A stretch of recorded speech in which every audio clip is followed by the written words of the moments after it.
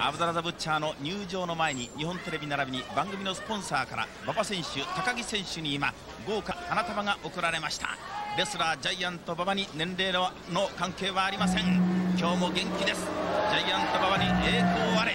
超満員のお客様。富士市立吉原体育館全員が馬場ファンだ。さあアブドラザ・ブッチャーがさらに燃えます。とうとうジャイアント馬場を引っ張り出しました。待ちに待った対決だ。何故にジャイアント馬場を付け狙うのか。それは全日本プロレスの総帥に君臨する男と対決してこそ復活ブッチャーの証明になるからでありましょう。さあ今夜はどういう手段でそしてどういう戦法でこの男ジャイアント馬場と戦うか。ブッチャーも50歳を超えたレスラーしかし衰えるどころかますますますますファイトに光が当たっています。天竜鶴田と対決いたしましても堂々見せ場を作りました。本当のプロのレスラー誰もが認めざるを得ません。さあプロ対プロの激突だ。大物対決だ。富士を揺るがすビッグマッチがいよいよ始まります。アブドラズ・ブッチャーのパートナー TNT45 分の一本勝負セミファイナル。本日のセミファイナル各マッチ45の一本勝負を行います。チャー軍団の一人鉄拳道殺法は抜群 TNT 馬場と戦いたい。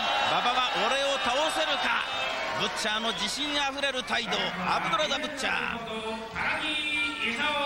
実力がついてまいりました高木勲。300ポンドジャイアントバーバー。今断然人気16問王道まっしぐらでありますジャイアント馬場。さあこの勝負素晴らしい内容の押し合いになるかと思います。馬場対ブッチャーの夢の顔合わせ。まあ、全日本マットに蘇った黄金対決と言っていいでしょうね竹内さんね。そうですね、ファンにとっては待ちに待ったカードですね。はい、16問対地獄好き。このおそらく展開になるんではないかと思います。ジャイアント馬場は言いますお客さんを喜ばせ楽しませるのが俺のプロレス道。ブッチャーはその鏡だと褒め上げています。そしてさらにプロレスの醍醐味はでっかい体同士がバシャーンとぶつかってしぶきが飛ぶ。日本人と外人が対決して手に汗握るそういう世界を復活させる。88年ジャイアント馬場こう言い切りました。さあ今夜のビッグマッチは馬場のプロレス道にふさわしいカードであります。果たして32問人間ロケット砲が竹内さん出るかどうかですね。ここがですね、はい。このタッグマッチの大きな興味でありですね、ええ。やっぱりこの対決への大きなポイントですね。そうですね。さあまずは愛弟子高木勲が試合を進めます。相手は TNT であります。高木選手もおデビューして、まあ、丸1年になろうとしております。さあこの高木勲選手今しかし全日本プロレスのヤング相撲トリオは元気ですね竹内さん。元気ですね、ジョン・テンタもいいですね、田上も非常にやっぱり伸びてきましたしね、ええ。この高木もやっぱり負けてはいないですね。そのテンタ田上よりもデビューの早いこの高木勲。まあ、年頭シリーズは非常にこの心境に厳しいところを見せております高木でありますが新しく覚えた技あの圧巻は、えーフライングニーキックですか。そうですね。いいですね、この体で飛ぶわけですからね。えードロップキックあるいはまたボディクラッシュなども得意技になっております。さあまずは首投げ。ゆっくりリズムの今夜の高木勲であります。師匠ジャイアント馬場とのチームですからね。思い切ったレスリング展開しなくてはいけません。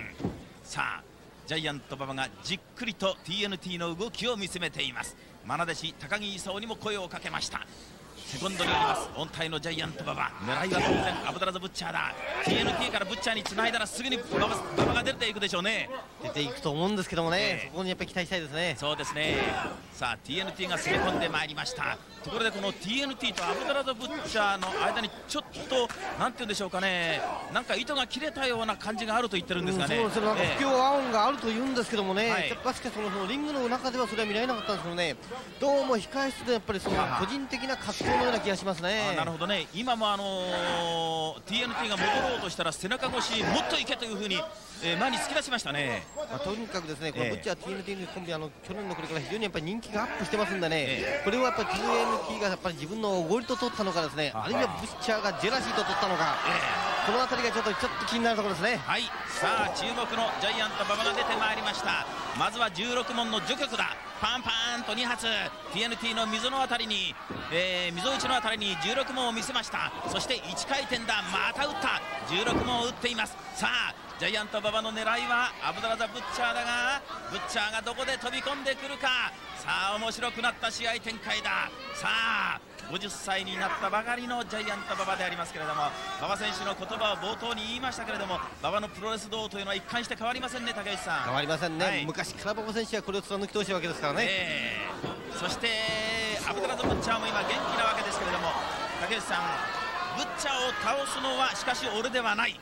鶴高天竜がやらなきゃいけないんだとこの言葉非常に聞きましたね。ただですね、ええ。確かに馬場選手はそういう言葉を発したんですけどもね、それはやっぱりファンの望みはですねやっぱりストップ・ザ・ブッチャーは馬場選手にやってほしいという願いがあると思うんですね。ああそうですか。さあ注目の一戦だ。黄金カード再び見られますアブダラズ・ブッチャーとジャイアント馬場さあジャイアント馬場のギラギラした両目。さあそしてアブダラズ・ブッチャーも慎重だ。組み合ったぞ。組み合った。さあ先に技を出すのはどっちか。コーナーに追い込んでいきました。ジャイアント馬場が追い込んでいきました。さあ大物同士の対決だ。魅力あふれる対決。ジャイアント馬場とアブダラズ・ブッチャー釘付けにした地獄付け1発2発で横から3発4発5発6発でジャイアント馬場を釘付けにした。もう一回ロープに飛ばす。なんでいくか。カウンターショルダータックル。アブダラズ・ブッチャーの空手殺法空手パフォーマンスです。馬場手が出ません。すごいですねアブドラズ・ブッチャーは、素晴らしい気迫ですね。えーまさにこのリング上に熱風が駆け巡ります。ブッチャーが死ぬほど燃えています。地獄から生き返った凄まじいファイト。これがアブドラザ・ブッチャーですなんて言うんでしょうかね。お客さんのこの反応を見るというんでしょうか。非常にこのファンに夢を与えるレスラーとしてはアブドラザ・ブッチャーというのはナンバーワンにふさわしいですね。ともかくですね全身にこのなんか無限のエネルギーといいますかねパワーを秘めてるわけですよね。本当ですね。あの輪島とのシングルマッチ。まあ再戦は次回来日した時だと言っておりましたけども16問倒すか馬場倒すか16問からチョップ渾身の力を込めて2発3発目いったいったいったいった。まだ倒してない。今度は左のチャーを倒しました。アブドラザ・ブッチャーを対しました。さあブッチャーが首を振っています。アブドラザ・ブッチャーが場外で首を振っています。ジャイアント馬場仁王立ちだ。リング上で仁王立ち。最初に場外に送り込んだのはジャイアント馬場の16問キックでありました。さあ今日は冷静だぞ。アブドラザ・ブッチャーもむやみに手を出していきません。さあこの後の展開だ。うん。もう本当にジャイアント馬場対アブドラ・ブッチャーの一騎打ちを見るかのような凄まじいそしてスリリングな展開。まずキック地獄突きまた地獄突きそして横からのエルボーですね。横からのエルボーが当たった。そして助走をつけて助走をつけて毒針に行くだろう。毒針毒針毒針。毒針であります。さあアブドラ・ブッチャーがねじ込んだ。輪島との対決は次回のお来日の時に持ち越しでよく練習を積んでおけとブッチャーはこう言い残しましたね。ステブテシーメッセージですね。ステブデシーですね。それからあの鶴田対ブッチャーの一戦もまあ防衛は防衛したんですけれども気遅れした鶴田でしたもんね。そんな気がしましたね、それだけにこのシリーズのブッチャーはですね、はい。全くその健在というか揺るがなかったですね。そうですね。さあアブドラザ・ブッチャーから TNT へのタッチ。TNT には脳天唐竹割りを2発見舞いました。高木に預けます。ドラップキック。さあ出してきたぞ。高木勲のう非常にいい動きが見られます。そしてブレンバスターへのつなぎ。ブレンバスター豪快130キロに体重も増えてまいりました。高木勲。この130キロというのは現在のジャイアント馬場選手と同じ体重ですね。素晴らしいもうウエイトアップですよね。本当にウエイトアップしてまいりましたね。力強く TNT を攻め込んでいきます。そして反対側に押し付けてボディクラッシュだろういった。まさに体当たり。さあすごい勢いで飛び込んできた。技のつなぎが速くなった。そして脳天食い打ちいいつなぎを見せた。高木高木高木 TNT を今日は高木が追い込んでるんじゃないですか？いい攻めですね。いい攻めですねやっぱりこのババブッチャーのですね、はい刺激がそのままこの二人にも伝わっているような感じがしますねそう。ですねこのところ試合前には必ずジャイアント馬場特別教室が開かれているんですけれどもこの高木勲それから田上とライバル同士の関係を見て本当に燃え上がらせていますがアブドラズ・ボッチャーの左のラリアットちょっと待ってください。竹内さんこれ本邦初公開ですか？いや松本でもやってましたね。いや左の勝ち上げるラリアット。当たりました？松本で。松本でも胸のあたりとかね、やっぱりあの一つのデモンストレーションだったですね。私は松本で見たのはラリアットじゃなくて胸で立ち上げたと思いましたけどね。うん、まあ今の場合はそうですね。ただ手の今のは腕ですねね。ええ。しかしまあそれにしましてもスピードがありますねさあちょっと待ってください。その間にその間にアブドラド・ブッチャーがちらっと放送席から見えましたけれども狂気を出したようなそんな感じがいたしました。高木勲を的に絞ってまいります。アブドラザ・ブッチャーでありますがさあ場外だ。場外で狂気を出すようだ狂気を出したぞ今見えた。高木勲を餌食にするか。さあさあゆっくりとゆっくりといいポジションを作ってさあ狂気が手の中に入っている。まさにレフリーの死角になっていますので上樋口気がつきません。now さあ大変な一戦。さあマラデシがどうやら死体を切られたようです。ジャイアント馬場この後おそらく怒りのチョップ怒りのチョップを打っていくんではないかと思いますが高木勲をロンリンリングの中にはまだ入れません。さあアブドラズ・ボッチャーのこれは狂気。完全に狂気が目の前にあります。あっと赤いタイツの中に入れるのかどうか。非常に巧妙ですね。巧妙ですね、しかもこれ場外ですからねレフェリーがチェックしようがないですよね、そうですね。ジャイアント馬場が高木勲をカバーに行ってますけれども再び高木勲を場内に入れましたが額が切れました。額が切れました。さあ再びアブダラザ・ブッチャーはこうなるとものすごい勢いで飛んでまいります。地獄好きが出てまいりました。このアブダラザ・ブッチャープロレスラーキャリア30年。デビュー時代は竹内さんゼイリス・アマラといって100キロしかなかったんですよね。非常にやっぱり軽い選手といいますかね、はい。あのスリムだったんですけどねねえ。今はもう素晴らしい体重分のパワーアップで。のこのね今狂気を出してますけれどもこのどっしりとしたそしてまた風格ある体は文字通り重みを感じるわけでありますさあジャイアント馬場が必要な抗議ジャイアント馬場選手も狂気を持っているのは発見したようですね。分かってるわけですよね、えーしかしまだ狂気がアブダラ・ボッチャーの右の手でしょうか。今巧妙にこの大きな背中で隠してタイツの中に入れるんですさあアブダラズ・ブッチャー TNT 組。うんもう完全に高木勲に狙いをつけていますけれどもこれはひょっとしたら竹内さんジャイアント馬場を誘い出そうという作戦その作戦のような気がしますね。えー馬場が一歩一歩足を踏み込んで2歩3歩前に出てきた。馬場が2歩3歩前に出てきてさあ前線に立つジャイアント馬場でありますがさあその後ろにその高木の後ろにアブダラズ・ブッチャーがいる。まずは正面からの相手を固定しての頭突き。うん身動きできない高木。いやーっとお尻が下がる。額から血いやすごい対決になってまいりました。セルリアンブルーのトランクス真っ赤なあー鮮血であります。高木さんはどこまで耐えられるかこういう狙いになってまいりましたが。さあ流血がおびただしくなってまいりましたのでまたジャイアントの右足がリングの中に入っている。さあ背中をまた突き出して飛んでいく飛んでいく飛んでいく。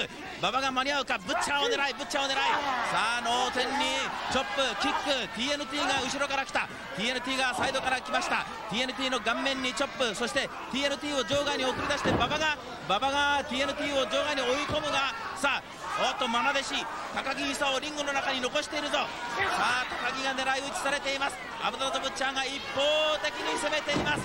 すごい勢いでヘッドバットを打ってまいりました。これはもうアブドラド・ブッチャーのギザギザの額から打ち出すヘッドバットというような定評があります。場外に TNT を出している。高木が捕まっている。あっと逆のエルボー。逆のエルボー。そして毒針で最後のとどめを刺すのか相手を一旦叩き落とす。場外では TNT を深追いしているジャイアント馬場。